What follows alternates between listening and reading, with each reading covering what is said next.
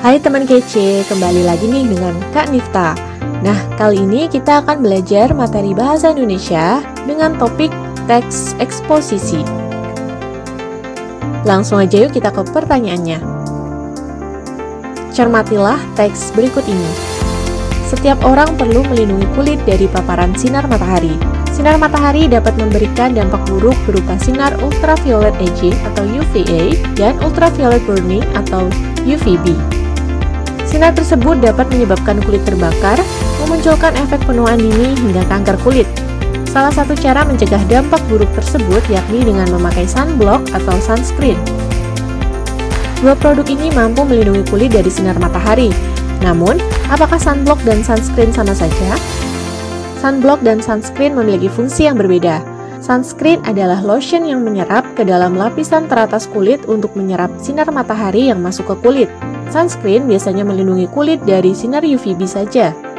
Namun, saat ini sudah banyak sunscreen wajah yang bisa menangkal sinar UVA.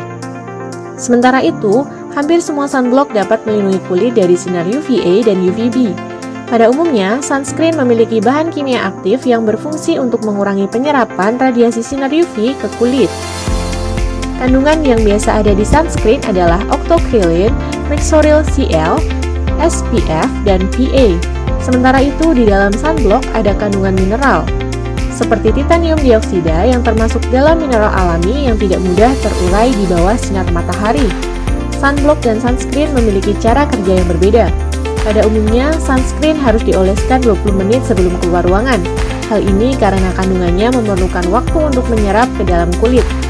Sementara itu, sunblock dapat langsung bekerja setelah dioleskan pada kulit. Persamaannya, baik sunscreen maupun sunblock harus dioleskan ulang setiap 2-3 jam agar mendapatkan hasil yang maksimal. Teks tersebut termasuk eksposisi.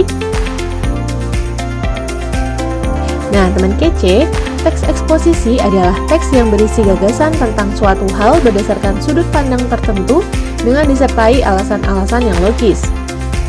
Jenis-jenis teks eksposisi adalah sebagai berikut. Yang pertama ada eksposisi laporan, yaitu berisi laporan dari sebuah peristiwa atau penelitian tertentu. Kemudian yang kedua ada eksposisi definisi, yaitu berisi definisi atau pengertian suatu topik tertentu. Kemudian yang ketiga adalah eksposisi ilustrasi. Eksposisi ilustrasi adalah berisi gambaran atau penjelasan mengenai beberapa hal yang memiliki kemiripan. Kemudian yang keempat ada eksposisi proses, berisi tahapan-tahapan untuk melakukan sesuatu. Kemudian yang kelima ada eksposisi perbandingan, berisi perbandingan mengenai suatu hal dengan hal lainnya. Kemudian yang keenam ada eksposisi pertentangan, berisi pertentangan mengenai suatu hal dengan hal lainnya. Nah, jadi teks tersebut termasuk ke dalam jenis eksposisi apa nih teman kece? Ya, betul. Teks tersebut termasuk dalam jenis eksposisi perbandingan. Teks tadi membahas perbandingan antara sunblock dan sunscreen. Jadi jawaban yang tepat dari soal ini adalah D, perbandingan. Gimana teman kece? Sudah paham?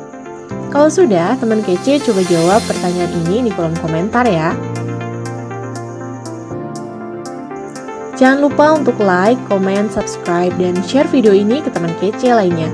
Kalau teman kece mau latihan soal bahasa Indonesia lebih banyak lagi, jangan lupa untuk mengunjungi website kami di kejarcita.id atau download aplikasi Kejar Cita di Play Store sekarang juga. Kejar Cita, kejar ilmu, raih cita.